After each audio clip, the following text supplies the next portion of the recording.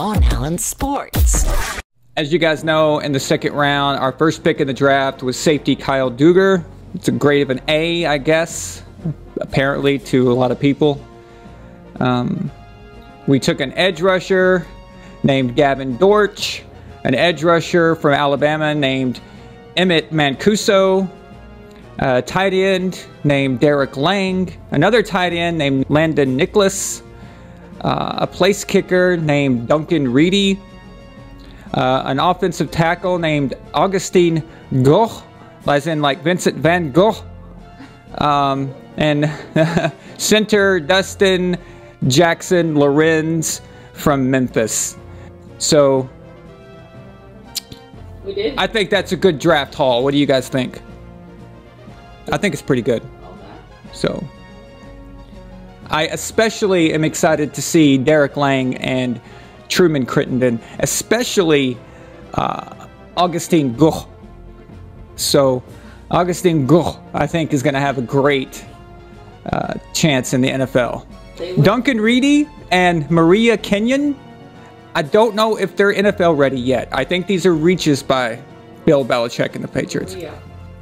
But Jackson Lorenz, he's going to make a good center. And He- a donkey? A donkey. Oh, I thought I heard a donkey. Donkey? Yeah. I don't think we drafted a donkey. Did we draft a donkey? One of those names. Does anyone know if we drafted a donkey? Thaddeus Moss? Actually, I've been getting ready for the show. I don't even know. Has he been drafted? Crap, man. I didn't even wake up till just a few hours ago. I was up all night watching the draft. Of course, over here, that's up and that's all the way until the morning. So, Yeah, so uh, let's discuss these players, guys, because they seem amazing picks. oh, see it twice says we drafted a kicker, so that's donkey-like. See, donkey, we did draft a donkey. Well, Yeah. You know. Huh? Yeah, so I got it right. We did drop that. We did draft a donkey, a, a kicker, but I'm telling you, I really, really think Emmett Mancuso is going to be the outside linebacker that we've been looking for, and I think he's amazing. I do too. And Yeah. And Maria also. Maria what? Maria Kenyon, Oh, yeah. Maria Kenyon, I think will be by far the greatest strong safety that the Patriots have ever had. Absolutely. I must agree. I've been watching, you know, he or she for like so long. Who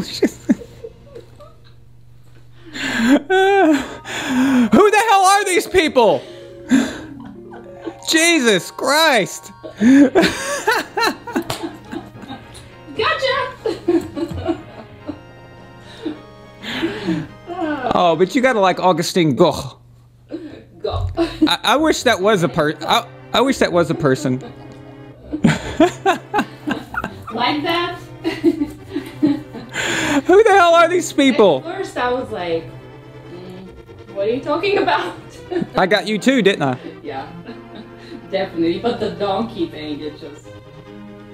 And Maria, that, that. What, you don't think Maria Kenyon is going to be a good safety in the NFL? So I went on a website that generates random stupid names, and it gave me this, th- these guys. Awesome. So, yeah, here's what it gave me. Here's, this is, this is the Patriots uh, draft list, but it really doesn't make a damn bit of difference because nobody's heard of the other guys either. So, how about that? I mean, Mean Joe Greene, I'm pretty high. I love this show. okay, come on, be honest. For anybody who wasn't really closely paying attention to every draft pick, you thought I was naming off Patriots players. Be honest. come on, man.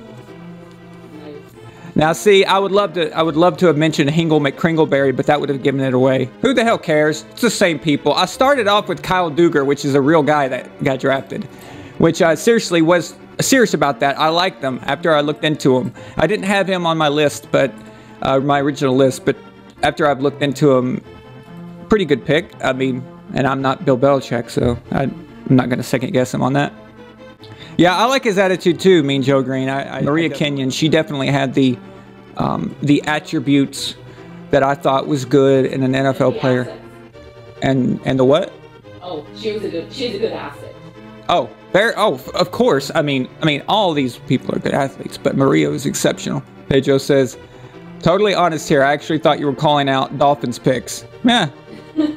I mean, why not, right? You like that Daniel Aus- uh, Augustine Goh is so underrated. Yeah, he is the still of the draft. Absolutely. Come on, you guys got to admit this draft was a complete mess. I mean, it was ridiculous. I even the coaching staffs of certain teams didn't even take it seriously. They didn't even care. You know, Sean Payton, he put up a he, he had every single.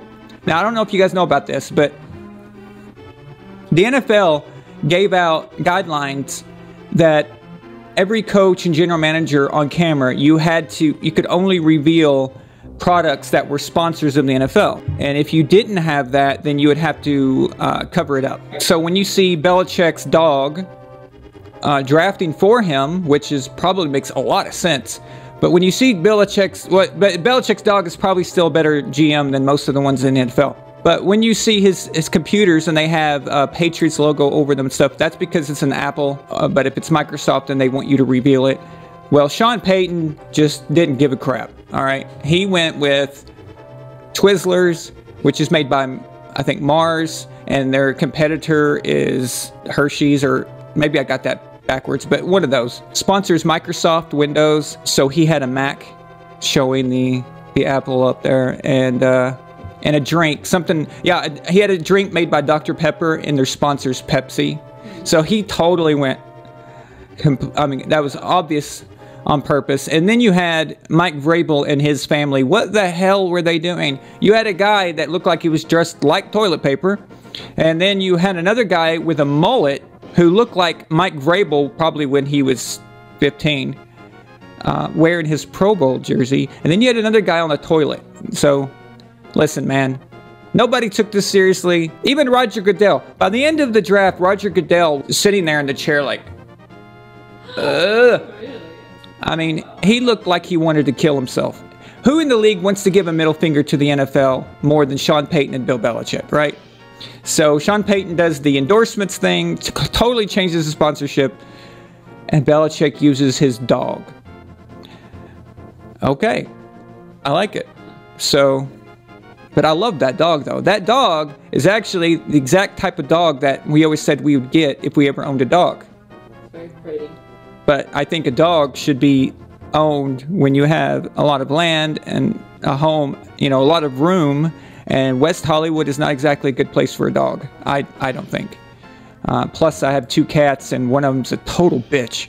And she'd be like, Yeah. yeah. So that's a good point, Jeff Orthodox. Uh, why do other fans hate Goodell? I, I know why we hate Goodell, and I know why Saints fans hate Goodell. But why does the other other uh, teams fans hate Goodell? I mean, he gives them what they want. They cry, they bitch and moan, they whine like babies, and they get their way. I mean, if you're a Ravens fan, you should be absolutely in love with Roger Goodell because your coach whines like a little bitch, and then, oh, it's time to suspend Tom Brady because you can't beat him. All because he told you maybe you need to learn the rule book, buddy. Yeah. That's what's up. Super chat.